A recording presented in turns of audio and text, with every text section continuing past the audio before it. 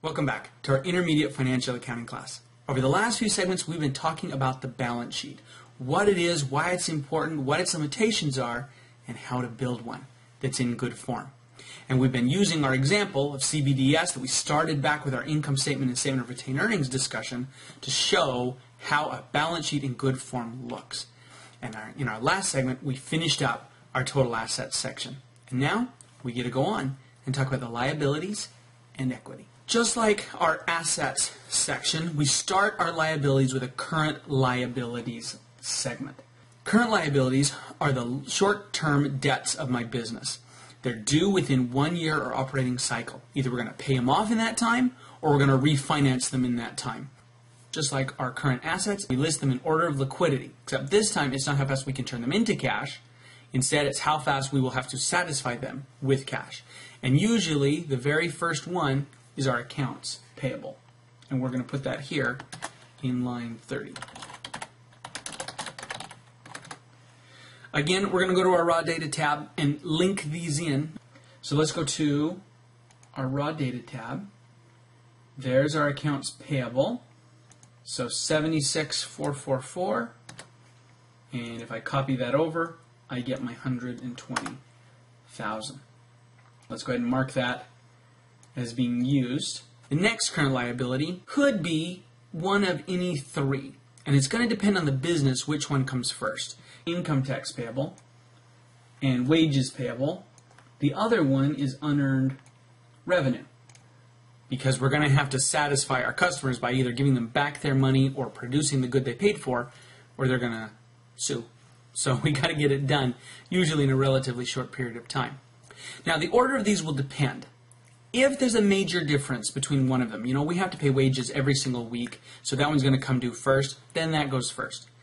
Otherwise, if there's not a significant difference in when these are going to be satisfied, then we end up putting them in alphabetical order.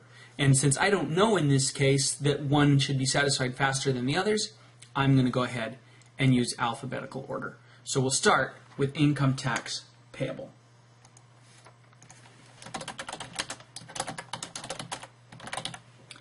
And then after that will be unearned revenue. And after that will be wages payable. Let's go ahead and link these in so we can copy them all across. So income tax payable is 35,000. Unearned revenue is 50,000.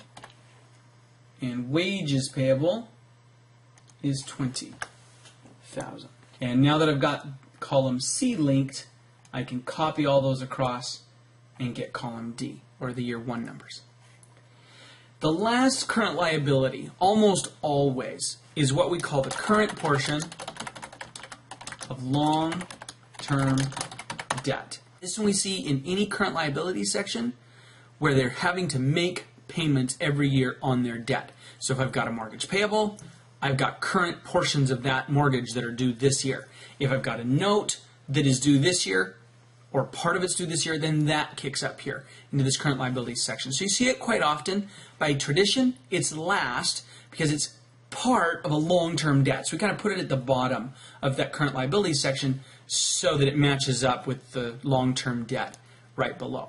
So let's go ahead and grab this number. So raw data, current portion of loan payable, 10,000 and 10,000. If you look at that, the first inclination is to say, well, wait a minute, they didn't pay it off. Look, it's still 10,000. Well, the truth is that they just have the same amount due every year. So at the end of year one, they knew they were going to have to pay $10,000 in year two. So they put that 10,000 there. As we finish up year two, we know there's another 10,000 due in year three. So that's the 10,000 that we're seeing this year. So basically what we're seeing is a loan that's being paid in $10,000 chunks over its, over its life. Let's go back to our raw data tab and highlight that we've used the current portion of long-term debt. The next section now are our long-term debts. These are any debts that are going to be paid over more than one year or operating cycle. They normally include some kind of an interest, whereas the current liabilities don't. And there's usually a much more serious set of contracts that go along with them because somebody has lent a lot of money and they're not going to get it back for an extended period of time. So they put as many legal barriers and protections into the contract as they can to make sure they're going to get paid. It's the same thing we see with a mortgage or a car loan, right? There's a lot more to the paperwork there than, say, your credit card, which is probably a pretty short agreement that you signed rather quickly. So we've got a loan payable. We know that because we had a current portion of the loan payable. So there it is down here. We'll mark that off. And then we have a notes payable. When I'm teaching this, I typically get the question, now wait a minute, how do you know that that loan is long term? How do you know that the note is long term? And the answer is, the only way I know that is because I wrote this problem. Otherwise, you would need more information to really determine whether these were long or short term, because you can take out a nine month or one year note or loan that is due within the current liability period, one year or one operating cycle. So you need to go back to the footnotes and look through it. As a business, you would look through your contracts and see, hey, is this more than a year out from, from December 31st or not? If not, current liability. If so, long-term liability. But other than that, there's no way to know, except as an investor, when you look at this section and you see it in long-term debt, you know then it's not due in year three. Because otherwise it would have to be up in current liabilities. Let's go ahead and get these put in here. So we'll go to our balance sheet and we said we had a loan payable and a note payable. Again, I've used alphabetical order. You don't have to. The other reason loan payable probably is coming first is because we have a current portion of our loan payable, and I just realized that I typed this wrong. This is not current portion of long-term debt for this company. In general, it is, but this company is specifically of my loan payable. So let me get that fixed. So again, the general category here is long-term debt. That's what we put in there. For this particular company, it's our loan. So it makes sense that the loan would appear first in our long-term debt section because it's being paid off a little faster than that note is, which is due who knows how many years from now, but isn't being actively paid. Our loan payable, 50,000. Our note payable, 280,000 and we'll copy that across and there we go.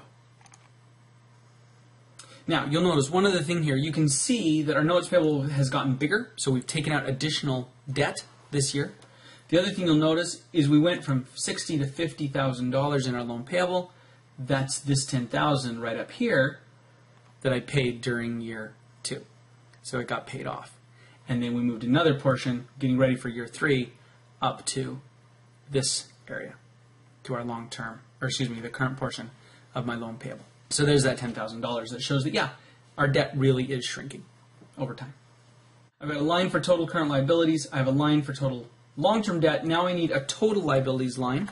And you can use either the sum or the plus version of this. I'm going to use the pluses because that's just my normal way of doing it. So I'm going to take the 9, 191, 444 plus this long-term debt, and it's it was hard to see that, so let me make it bigger. There we go. And I'm not going to type that in again. I'm just going to copy that across, and there I have my total liabilities. Next section here is our equity. And we have three things that are going to be part of our equity. We're going to have our common stock.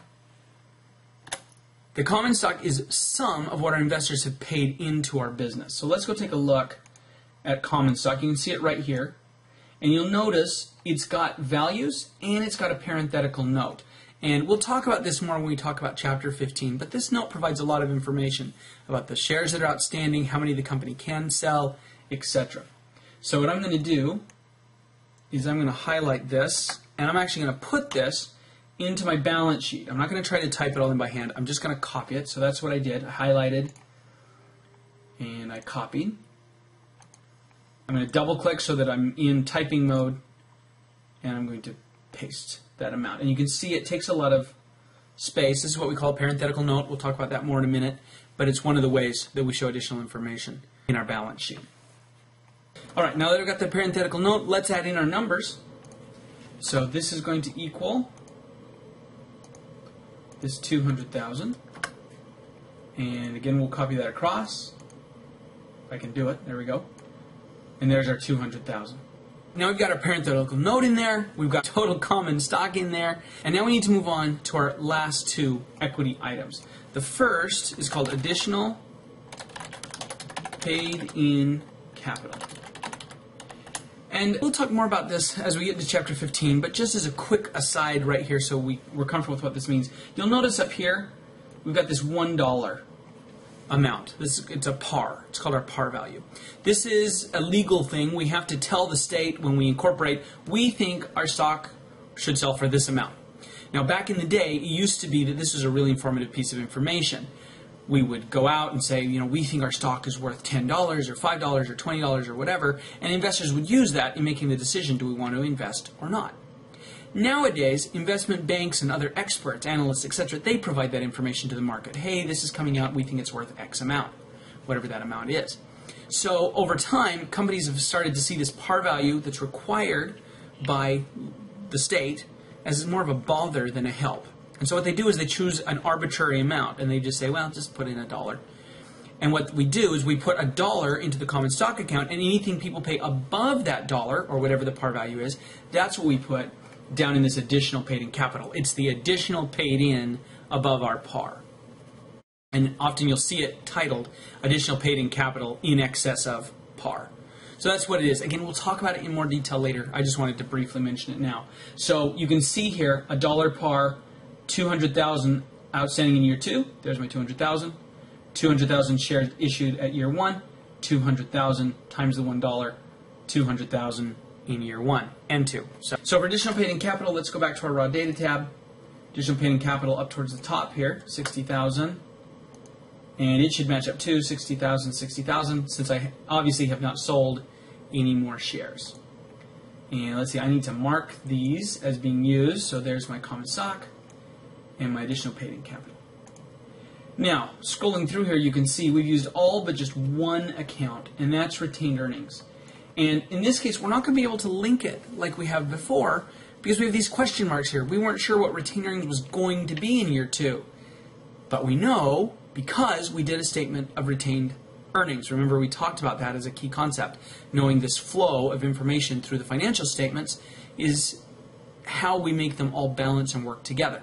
So let's go ahead to our balance sheet and type in retained earnings. And I am going to get the original balance from year two, or excuse me, from year one. There's the 395. But to get this number, I'm going to have to go to my statement of retained earnings, which we made. So I'm going to click there. And here's the 395 that we began with, and here's the amount that we're going to end with. We've got a total liabilities line up here. We have a total equity down here. Now we can add those up. So total liabilities plus total equity. And again, gotta make that a little bit bigger. There we go. So we're adding those two up. And we'll copy that across. There's our total amount. And what you're looking for is to see that the two numbers balance. And that's what we want. Total assets equals total liabilities plus owner's equity in both years. And they do. So we're good. Now, in theory, you shouldn't put the double underline in until you know they're going to balance. I put it in for you automatically, but really that double underline means I checked, I'm finished, it balances. Yes, victory from an accounting perspective. That's what you want to see. With that, we're going to end our discussion of the balance sheet as far as creating a US GAAP balance sheet. And when we come back, we'll start talking about an IFRS balance sheet. We'll see you then.